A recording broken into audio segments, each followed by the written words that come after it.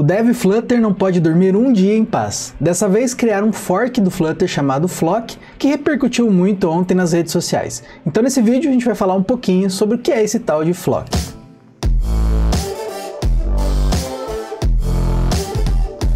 Fala galera, beleza?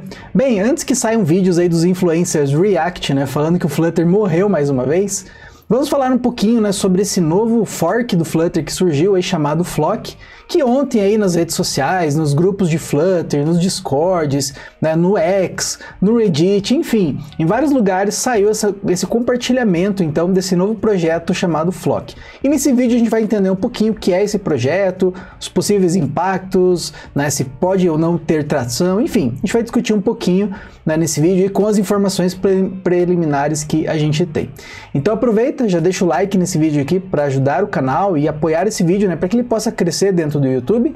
E se você ainda não é inscrito, te convido a se inscrever para ficar atualizado de novos vídeos de Flutter que nós publicamos toda semana. Bem pessoal, antes da gente começar o vídeo, é importante já destacar aqui né, que esse vídeo conta com algumas opiniões que eu vou dar para vocês, com base nas informações que a gente tem no momento. É claro que daqui a alguns meses, daqui um ano, dois anos, enfim, a gente vai ter que avaliar novamente para saber né, se esse projeto ele vai ter tração ou não, e assim a gente pode ter novas opiniões aqui no canal. Então hoje eu vou trazer alguns fatos e algumas opiniões com relação às informações que a gente tem hoje, beleza? Bem, vamos então à história, né? Então ontem, como eu falei nas redes sociais, no X, no Reddit e em todos os grupos de Flutter, no WhatsApp, no Telegram, né, no, no Discord, enfim, as pessoas começaram a compartilhar esse novo projeto aqui que vocês estão vendo na minha tela chamado Flock. Flutter by the community for the community. Né? Então há, há, um primeiro momento aqui dá a entender né, que é um Flutter feito pela comunidade. Então isso aqui que já levantou né, várias é, questões ali sobre tá, quem que é essa comunidade, né, quem que está fazendo, para que comunidade que essas pessoas estão falando. Então esse mais ou menos foi o intuito dos compartilhamentos ontem. Então vamos entender o que, que é esse Flock, né? Então ele diz aqui no próprio site que o Flock é um Flutter Plus, né? Um Flutter mais. Então o Flock é um fork do Flutter, como a gente já falou aqui, e a ideia é que esse projeto ele se mantenha sempre sincronizado com as atualizações que vão acontecer no repositório principal do Flutter, seja na branch master, na branch stable ou na branch dev. Então a ideia é que eles construam um mecanismo que sempre é, incluam as atualizações do Flutter nessa versão do Flock. Então a ideia é que o Flock sempre é, tenha as atualizações do Flutter, mais o que for desenvolvido, né, as novas é, funcionalidades que foram adicionadas pela comunidade. E basicamente é, é essa a ideia principal. Então, para quem quiser saber mais um pouquinho da história e da motivação desse projeto, né, então foi criado um, um post né, no blog lá do Flock explicando o porquê dos motivos. Tá? Eu não vou ler aqui o, o post e eu tenho também certeza né, que muitos influenciadores de outras tecnologias como React vão aproveitar esse post para acabar gerando fatos ali, né? enfim, opiniões sobre o estado do Flutter. Né? Por quê? Porque o autor do post aqui ele traz alguns dados que ele tira simplesmente da cabeça dele ali, né? chutando alguns números em relação à quantidade de desenvolvedores Flutter, a quantidade de pessoas que estão no, no time do Flutter e assim por diante. Né? Então isso dá margem para depois outras pessoas falarem alguma coisa da tecnologia né? e do estado do Flutter com base nesse post. Mas o fato é que ele não traz nenhuma referência nem nada sobre esses números. Mas depois vocês podem dar uma olhada é, nesse post, né? E, como eu falei, não deem tanta atenção aos números, né? Eles falam ali, por exemplo, que eles chutam que o time do Flirt tem mais ou menos 50 pessoas, né? E que hoje, por conta do projeto ele ter crescido tanto e você ter ali né, suporte a múltiplas plataformas, acaba que o time do Flutter, né, oficial ali, os contribuidores oficiais, eles não têm dado conta né, de entregar todas as funcionalidades, resolver todos os bugs e as issues que tem lá no repositório. Mas a gente tem que entender, né, que realmente é um projeto grande. Se a gente pensar em 2023, né, foi o terceiro pro, maior projeto open source em números de contribuições no mundo, no GitHub. Né, então perdeu, se eu não me engano, para o VS Code e para algum projeto de IA, se eu não me engano. Mas pense, de todos os projetos open source, o Flutter ficou em terceiro em número de contribuições. Então significa que realmente né, você tem ali um grande número de contribuições, mas como é um projeto extremamente grande, realmente é difícil de você ter né, conseguir resolver tudo ao mesmo tempo. Com certeza mais pessoas ajudariam, né, mas isso também tem uma questão de boa vontade do Google. Mas não quer dizer que poucas pessoas não vão conseguir entregar. A gente pode pegar o exemplo, por exemplo, do SQLite, que é o banco de dados mais utilizado do mundo, e se eu não me engano, né, ele é mantido por apenas quatro pessoas. Né, e é um banco de dados que roda no mobile e também na web, né, no desktop, etc. Então, não há muito né, essa questão de número de pessoas, mas realmente é um problema que a gente tem hoje no Flutter é, por conta dessas múltiplas plataformas que ele precisa dar suporte. E, obviamente, issues, bugs e features né, vão ser solicitados. Mas então, qual é a motivação é, do Flock? Basicamente, né, o, o autor aqui ele fala o seguinte, que muitas pessoas já se frustraram ao tentar fazer uma colaboração né, lá no, no time do, do Flutter. Então, às vezes, eles tentam fazer uma proposta de issue, essa issue lá fica por anos, né, lá na, no repositório do, do, Flutter, e ela não é atendida. E às vezes, quando algum desenvolvedor externo, né, algum contribuidor externo tenta contribuir, às vezes a issue ela é fechada na hora e simplesmente morre ali a, a, o desenvolvimento da funcionalidade. Então parece ali, né, o autor cita isso no post, que parece haver um, uma, um problema de comunicação, né, uma, um problema ali relacionado às políticas para você é, fazer contribuições externas, né, flexibilidade para você fazer contribuições externas e assim por diante. E é claro que a gente pode citar alguns exemplos. Então a gente tem o famoso exemplo do, do de uma issue né, que o Remy ele colocou lá em 2018 para trazer uma espécie de hooks do React, né, pro, é, Flutter e essa issue ela está aberta até hoje. Ela tem centenas de comentários e de discussões, mas simplesmente né, o, o, time do Flutter lá na época foi batendo na tecla de não, não, não e, e sempre é, indo contra o argumento que estava sendo apresentado e parece que estacionou ali o desenvolvimento dessa feature. E recentemente né, a gente teve a polêmica né, do, da, da funcionalidade da propriedade spacing que foi adicionada nos, nas columns e nas rows. Então essa era uma issue, né, uma, uma request de 2020, e aí recentemente né, um contribuidor lá externo tentou fazer a funcionalidade e ela foi fechada lá pelo time do Flutter. E aí a comunidade teve que reabrir a funcionalidade e muitas pessoas continuarem a discussão e conseguiram então colocar essa funcionalidade. Né? Então, quer dizer, quatro anos para colocar uma propriedade ali. Então, realmente tem um certo problema de flexibilidade nas contribuições, né? mas isso talvez poderia ser resolvido com política, grupo de trabalhos, enfim. Né? Depois a gente pode discutir sobre isso. Então o post ele fala mais ou menos sobre isso, né? E também a questão, é, às vezes, de você estar tá na tua empresa lá e às vezes você fica bloqueado num release por causa de uma issue específica no Flutter. E aí geralmente você vai abrir uma, uma issue lá no, no Git, seja por bug, seja por uma feature, etc. E geralmente você vai ter uma resposta do tipo, olha, você mesmo, se você tiver com pressa, você mesmo pode é, contribuir com essa solução. E aí às vezes você esbarra num problema que não é nem tanto a capacidade técnica, mas é você saber por onde começar ali, né? Porque realmente é um repositório muito grande, tem muitos processos né? e muita burocracia envolvida em você fazer uma, uma atualização ou desenvolver, desenvolver né, uma nova feature. Então, às vezes, o pessoal fica perdido e acaba abandonando e fica por isso mesmo. Né? Então, a ideia do Flock, pelo que eu entendi, é exatamente essa: é fazer um fork e a comunidade ser mais flexível para propor novas features, correção de bugs, etc. Tendo um espelho com o fork né, lá do, com o repositório principal do Flutter. Ou seja, se, a ideia é que se você usa o SDK do Flock, você já vai estar tá usando tudo que está estável né, na, na, versão ali que você esteja usando do Flutter. Mas algumas mais né, algumas coisas extras que a comunidade vai desenvolver. Né? E aí, futuramente, se o Flutter resolver pegar essa funcionalidade que está desenvolvida no Flock e incorporar no framework, o Flock vai tirar né, do, do projeto. Então seria mais ou menos essa ideia, né, com as informações que a gente tem, como eu falei para vocês no, no momento. Então esse projeto, pessoal, ele tem basicamente três fases. Tá, no momento, que é você ter o flock, que seria então é, essa sincronização, né, um mecanismo de sincronização com o repositório do Flutter. Uma segunda fase vai ser a sincronização da engine, ou seja, de como o Flutter funciona e montar scripts ali para você fazer a compilação, para você gerar os binários, para que você tenha um SDK instalável, assim como a gente tem do Flutter.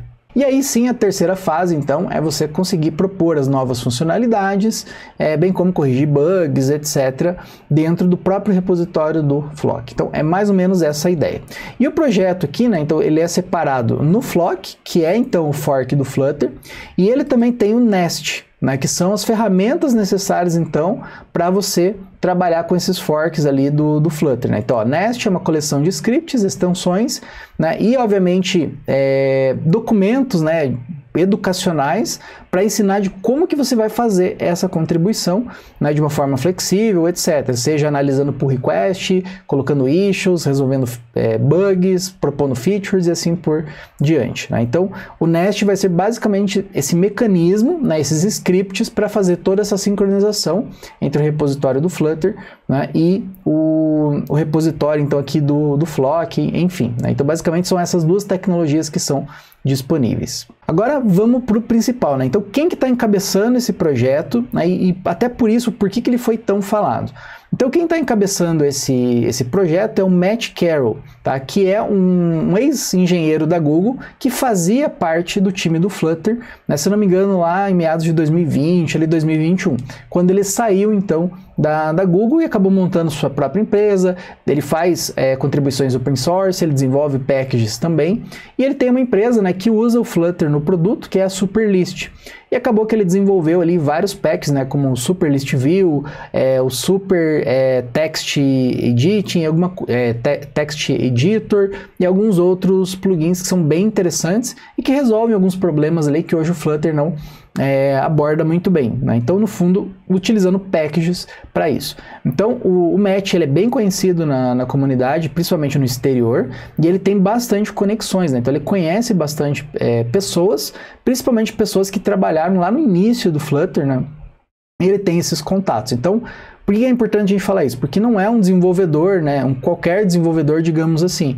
É uma pessoa que trabalhou lá no início do Flutter e conhece bastante pessoas, né? E até mesmo os fundadores do Flutter. Então, é, isso é uma informação relevante, né? Que pode afetar ali, né? O sucesso ou não desse, desse projeto. Agora vamos falar um pouquinho, né? De opiniões. Então, o que, que eu acho, né? Algumas informações, né? Sobre esse projeto e algumas opiniões é, pessoais minhas, né, e que provavelmente são compartilhadas aí por outras pessoas.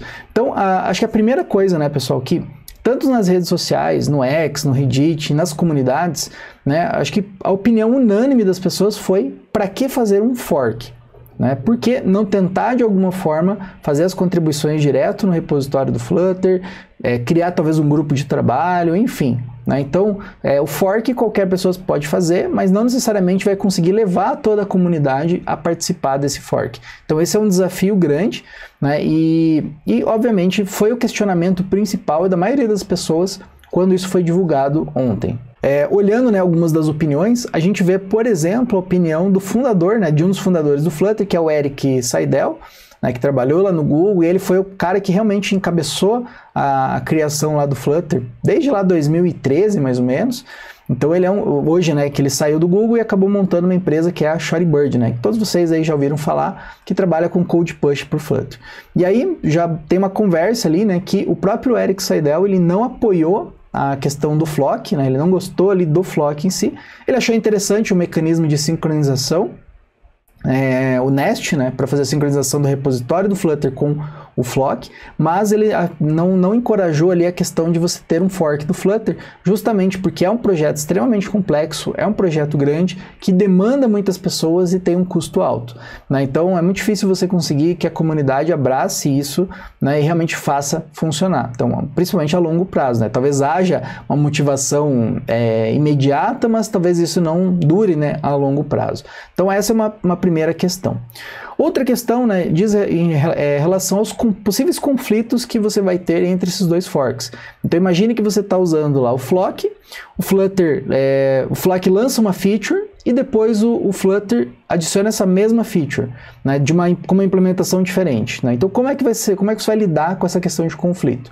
Ou por exemplo, é, o time do Flutter resolveu adotar a funcionalidade que estava dentro do Flock.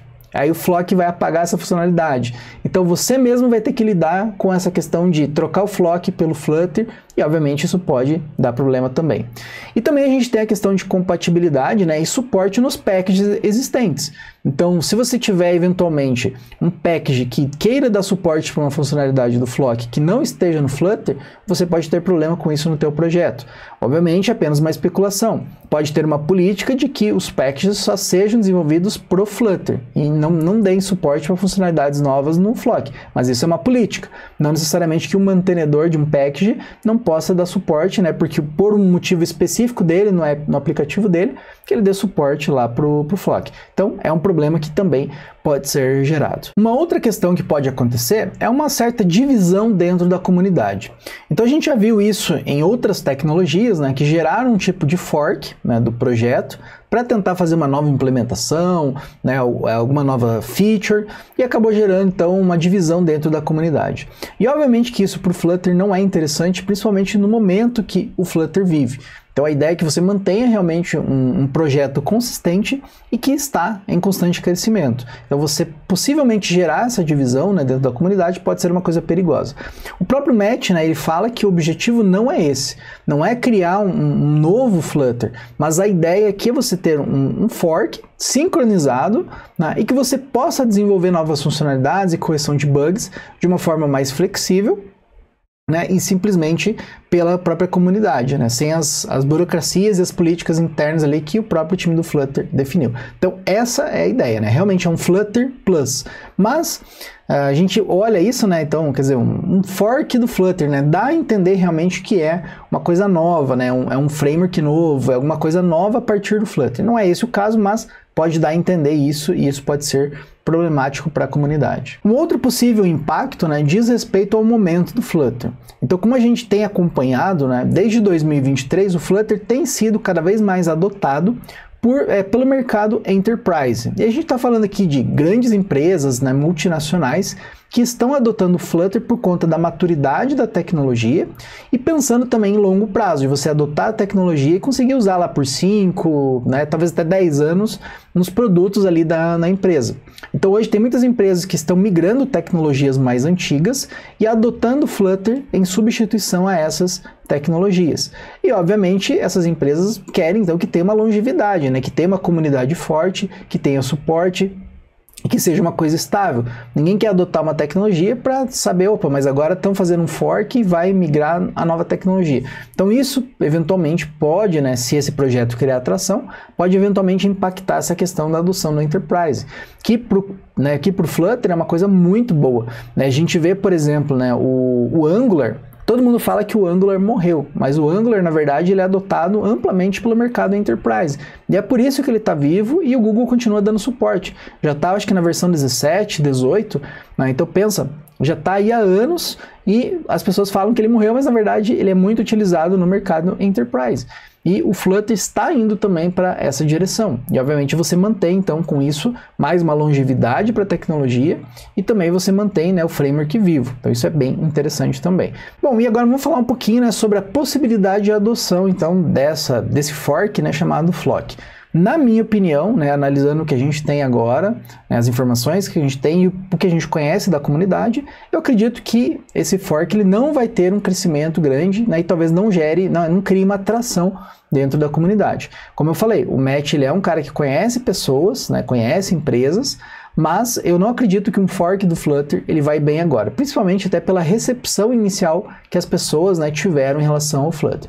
O Matt ele já está agendando vários eventos ali, várias lives com pessoas influentes dentro da comunidade para trazer mais informações sobre isso, mas sinceramente eu acredito que não vai ter uma atração tão, tão grande.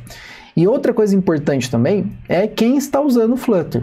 E as empresas que utilizam o Flutter, principalmente empresas que tem algum nível de compliance ou tem algum nível de preocupação maior com segurança, geralmente não vão querer utilizar um SDK que não é o SDK oficial do Flutter. Justamente porque por, pelas regras de compliance, segurança, etc. Então a gente vê, por exemplo, o Shortbird, que vejam, é de uma pessoa que é o fundador do Flutter, que é do Eric Seidel. E a gente tem várias empresas que têm dificuldade em conseguir colocar o Shortbird dentro da empresa, justamente porque o Shortbird ele precisa mudar a, a engine, né? Do Flutter para fazer o Code Push funcionar. Então, no, caso, você está utilizando o SDK do Shortbird ao invés do SDK do Flutter, se você quer utilizar o Code Push nos seus projetos. E, obviamente, isso implica em questões de compliance, em questões de, de jurídico, de do time de segurança e assim por diante. Então, é uma questão complexa. Então, imagine você utilizar um projeto de comunidade que está fazendo um fork do Flutter. Então, realmente, se você tem essa questão de compliance, pode ser uma questão complicada, para essa adoção dessa, desse fork né, do, do Flutter. Bem, pessoal, e no final o que a gente tem é esperar, né, talvez daqui um mês, seis meses, um ano, para ver realmente se esse projeto ele vai funcionar de fato, se pessoas influentes da comunidade vão, vão abraçar o projeto e vão contribuir de fato, né, se ele vai ter um papel relevante. A gente tem que entender também o posicionamento do Google e do próprio time do Flutter em relação a isso. Será que eventualmente o time do Flutter iria pegar alguma funcionalidade desenvolvida no Flock e colocar dentro do, do Flutter? Eu acho que não, né? Se conhecendo como funciona a burocracia ali do Flutter, do time do Flutter, acho difícil que isso ia acontecer, eles pegarem um fork né, de comunidade e colocar alguma funcionalidade, né, copy-cola, digamos assim, um merge né, dentro do, do Flutter. Eu acho muito difícil. Mas vamos ficar de olho, vamos analisando, vamos estudando mais sobre, eh, sobre esse projeto e se tiver alguma atualização, com certeza eu vou trazer aqui para vocês e a gente vai discutindo aqui, né, justamente para tentar ficar atualizado e entender o que está acontecendo, né, com essa tecnologia que a gente vem trabalhando. A minha sugestão, né, é que você pode abordar o problema da, da, da falta de funcionalidades de duas formas, né? A questão de bugs também. Você pode, a primeira é desenvolver packages para alguma solução específica que você tem ou sua empresa tem, e isso já vem acontecendo pela comunidade. E se você realmente precisa de funcionalidades no core do Flutter ou mesmo se você tem bugs e issues que precisam ser resolvidos, uma sugestão seria formar um grupo de trabalho, né, igual o, o Flock, né, ele está ali sobre a, a, Flutter Foundation, que eles estão chamando.